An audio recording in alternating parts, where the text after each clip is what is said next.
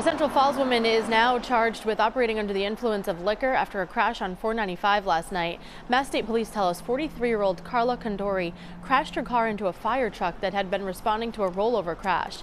Besides the OUI charge, she's also now charged with negligent operation of a motor vehicle and driving with a suspended license. There's no word of anybody hurt in the incident.